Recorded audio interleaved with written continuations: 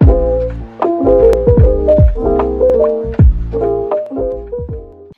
welcome back to our podcast channel. Um, I'm your host Maggie. Today we have a new guest, Githmin, who's based in Sri Lanka right now and shares his offshore studying experience. Hello, how are you? Hi Maggie, I'm doing great. Yeah, do you mind introduce a bit yourself to our audience? Yeah, so my name is Githmin Beanta de Silva. I'm currently an offshore student. I'm studying at Victoria University of Wellington. I'm in my second year studying Bachelor of Design Innovation, majoring in VFX and animation. Oh, second year. So have you been to New Zealand before? No, I've actually never like flown out of my home country before.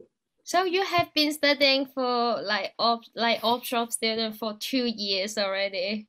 Yeah, about two. Ah, so what are some of the most noticeable differences between like oh no, you only studying online, isn't it? So what is the differences between you think studying in person and online? Well, uh, in person to online, I'd say one of the main things that affects me is the access to university resources. Mm-hmm. Since I'm doing like uh, design subjects, I have a lot of uh, studio work and stuff like that, access to libraries. Even though the online library is there, there are some books that I can't find on the online library. Mm-hmm. And also, apart from that, I think the biggest thing that affects me is the time difference. Ah, yeah. What is the Yes. time now? In the morning, right? Yeah, it's almost 8 a.m. Sometimes I have classes from like 3 a.m. So it's kind of like six hours differences between, you know, this and your country. Yeah, six and a half hours. And uh, when daylight savings there, it's seven and a half hours. So those Yeah. are like some of the most noticeable differences that I have to face. Yeah, that's horrible. And what is your experiences communicating to people online? Well, communicating with people online, I'd say is tough because I actually started my studies at uh, Up Education, my foundation studies back in 2020, which Mm-hmm. is also online. Mm, So in the beginning, it was a bit hard because not many people wanted to, you know, switch on their cameras. Some people wouldn't unmute. It was a bit awkward, but you slowly figure it out. Like you open up to people and you share social media handles, and that's how I really got communicating with people. mhm. And yeah, it's tough, but it's also fun when you get used to it. Yeah, and what do you think has been most beneficial about studying offshore? Um, beneficial about studying offshore, I'd say Mhm. one thing is I'm at home, I'm with my family and friends, Oh, yeah. and um, I mean accommodation and all isn't a problem right now because I'm at my home. Uh, food and all that's not a problem because my mom cooks, I cook, so it's all there. Mm-hmm. And also, I guess everything is like, uh, how would you say, like I'm used to it, right? It's not a big change for me. Mm-hmm. but I'm too used to it now, so I'm hoping for a change. Yeah, I love studying online actually because you know I can just stay home and you know COVID-free environment. Yeah. Yeah. Do you think that the cost of living is manageable in your home country? Yeah, cost of living is pretty manageable here compared to New Zealand because there's a massive difference in like exchange rates and stuff. Mm-hmm. So yeah, living here since I'm with my parents, it's not a big issue. But even if you were to live separately, it's manageable if you have like a part-time job and all that. Yeah. For now though. So what are this what are some issues you faced while studying offshore? So I'd say some of the biggest issues I face joining in from Sri Lanka is the fact that we don't have uh, stable power. Mm. So we are prone to having like a lot of power cuts. Ah. Right now, when we're in the middle of an economic crisis. So due to that, we have scheduled power cuts. Mhm. Previously, uh, it used to go up to like 14, 15 hours a day without power. So it's really hard to manage your workload when you have such long power cuts going on. That would be one of the biggest issues that affects me a lot. I see. So you have been studying like two years also like online. So what aspects of studying online do you think like it could be improved? Yeah, I think um, some things that could be improved while people study online would be more engagement from university and other organizations because like a lot of the online students are secluded. Depends like I prefer trying to meet more people online, sparking conversation, but not everyone is, you know, use that kind of thing. Yeah. It's not, it's a bit too shy or something like that. But if you have more events and stuff, you can get more students involved. So I remember taking part the second I joined you know, at university at a, I think it is a small talent show. So things like that really, you know, get people used to things online, makes it a bit more fun. So I think mm-hmm. those are things that could be improved online. Yeah, I agree with that. And so, what is your experiences making friends online, especially Victoria friends, Victoria Uni? So, so um, I remember when we started uni, um, yeah, back in 21, like we had orientation. I'm I'm so happy that we had it online. Yeah. And there were so many students online that the first thing I think everyone did before uh, the host started talking, even everyone just started throwing their social media handles. Mhm. IG, Discord servers, and within five minutes, I think I added like, I don't know, 15, 20 people. Mhm. And we started making little, little groups on social media. Because, you know, it's not just one or two people who are studying online due to the mm-hmm. pandemic, it was a lot. So we Yeah. all sort of made like an online community together. So it was pretty fun. Yeah, yeah.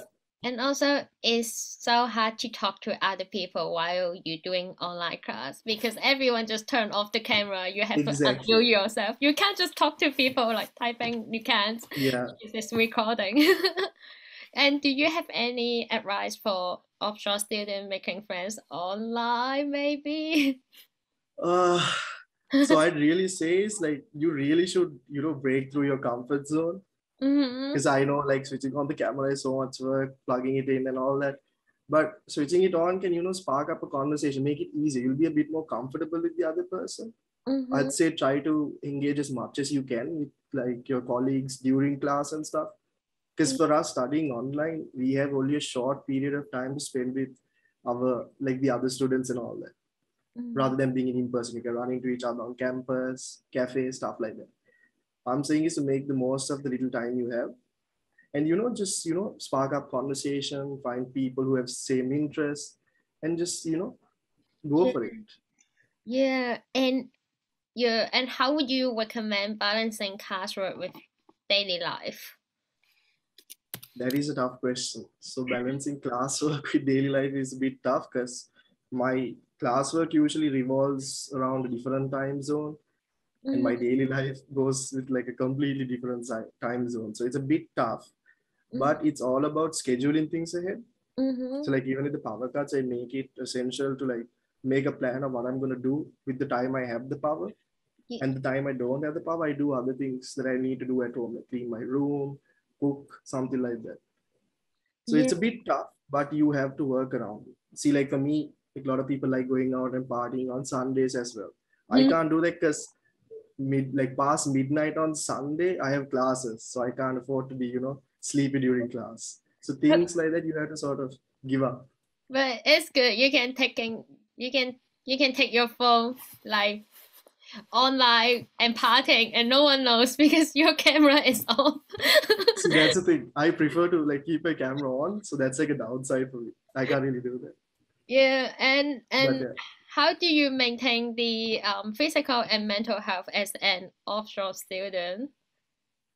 Um, so physical health, I'd say since I'm home most of the time and we don't have lockdowns in our country right now, other than a couple of curfews here and there, I would make it a point to like try to work out, go for walks and stuff. I'm quite extroverted, so I do go out often. We have a lot of activities to do around the country, so I usually go for things like that.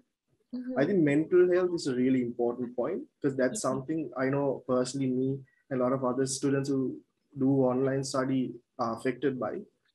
So that is something you actually have to reach out to help. I'm telling this to everyone because it's really important. Because a Mhm. lot of people like like you know I'll just bottle it in, you know, just forget about it. It doesn't work like that. More you bottle it in, it's eventually going to come out at a time you're like stuck with exams and submissions. So the best thing is to reach out. I personally make it a point to talk to my friends. I give them a call. I talk to them, you know, I'm struggling with this. What do you think I should do? Getting a different perspective from another person always helps me. So I'd say that's a really good way to sort of like balance things out with your mental health. And also talk to other university students because they also suffer the same thing. So it's easy to like you know get set to the same frequency. Yeah, and who should be the um offshore student contact if they have academic questions? So for academic questions and stuff, you can actually use the student learning options we have mm. on the mm. Victoria University website. So see, yeah. So for anyone struggling with like academic writing and other classes, you can check it out. I'm not too sure if there is much for design subjects, mm-hmm. but um, the next option I'd say is talk to the international support team. They are very helpful, mm-hmm. and um, other organizations like VISA, yeah. which is also like the Victoria International Students Association they're all very helpful they'll help you out in any way if you have an issue with the university they'll help you sort it out so i'd say contact them yeah i use student learning a lot they're really useful i i need them to check every of my assignment every single time so i'm super recommended and what, yeah that's true yeah and what are some organizations students can contact for general support like in your opinion So like I previously mentioned, uh, VISA is an option. They are very helpful.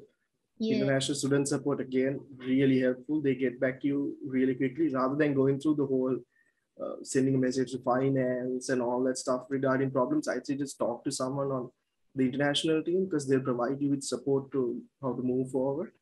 I've actually contacted organizations like uh, Views as well, who actually helped me deal with certain issues uh, regarding my university life. So that's also another great organization to contact. And also like feel free to message me or anyone else on like the ambassadors team. It'll be awesome. Mm, all righty. Thank you so much. And those information are very informative.